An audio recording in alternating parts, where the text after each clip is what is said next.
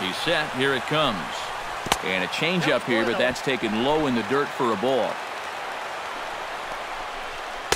Up top, it's 2-0.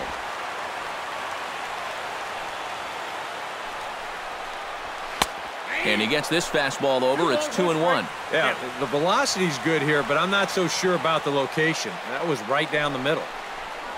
And this is swung on and missed for strike two. And now the Giants are down to their final strike. And he struck him out for out number three. So that'll wrap things up here as they leave the possible tying run stranded at first. Good work here out of the bullpen, and he's into double digits now. That's his 10th save here on the season.